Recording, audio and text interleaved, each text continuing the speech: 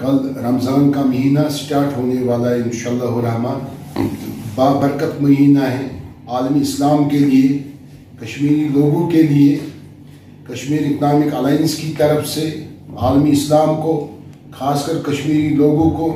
रमज़ान के लिए हम मुबारकबाद पेश करते हैं दिल की उम्मीद गहराई से। इन हर एक मुसलमान को फ़र्ज़ बनता है रमज़ान के हवाले से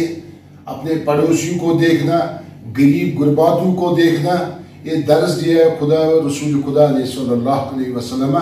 इस पर अमल पैरा होना चाहिए मुसलमान को। यही मेरे ख्याल से दर्ज से खुदा और रसूल खुदा की तरफ़ से सल्लल्लाहु अलैहि लिहाजा करके कश्मीर इकनॉमिक अलाइंस आलमी इस्लाम को, खासकर कश्मीरी लोगों को फिर एक बार मुबारकबाद पेश करती है कश्मीर इकनॉमिक अलाइंस की। सरकार की तरफ़ से मेरे ख्याल से अच्छा कदम है जो परमिशन मिल गया नमाज़ के लिए सरकार की तरफ़ से।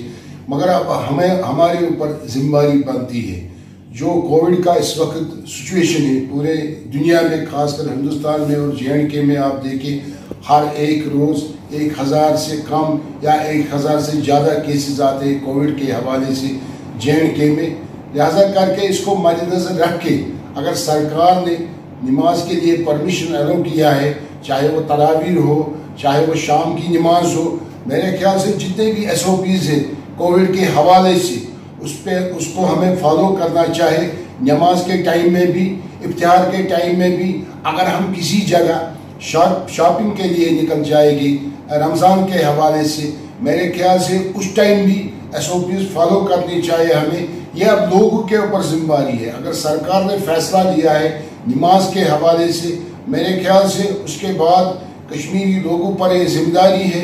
कोविड के जितने भी एस ओ पीज़ है, उसको वो फॉलो करें। ताकि जो ये महामारी है कोविड नाइन्टीन के हवाले से, कोरोना वायरस के हवाले से इसको हम कंट्रोल कर सकते हैं। एस के ज़रिए जब हम सोशल डिस्टेंस रखेंगे, जब हम मास्क लगाएँगे, जब हम सैनिटाइजर इस्तेमाल करेंगे, यही मैसेज है कश्मीर इकनॉमिक अलाइंस की तरफ़ से। यहाँ के लोगों को, चाहे वो नमाजी हो, चाहे वो आम पब्लिक हो शॉपिंग के लिए, यही मैसेज है। दुकानदार साहिबान हैं, जितने भी हमारे छापे फरोश साहिबान हैं मेरे ख्याल से इस महीनों इस महीने को मद्देनज़र रख के रेट मेरे ख्याल से रिजनेबल रेट होनी चाहिए मार्केट में। कोई ब्लैक मार्केटिंग नहीं होनी चाहिए मार्केट उसके साथ साथ जो हमारा फ़ूड एंड सप्लाई डिपार्टमेंट है, जो इस पर काम कर रहा है, उसको भी मार्केट में आना चाहिए, उसको भी रेटें चेक करनी चाहिए, तभी मेरे ख्याल से ये ब्लैक मार्केटिंग ख़त्म हो जाएगी, लगानी चाहिए। फ़ूड एंड सप्लाई को भी, उनको भी बाहर आना चाहिए इसके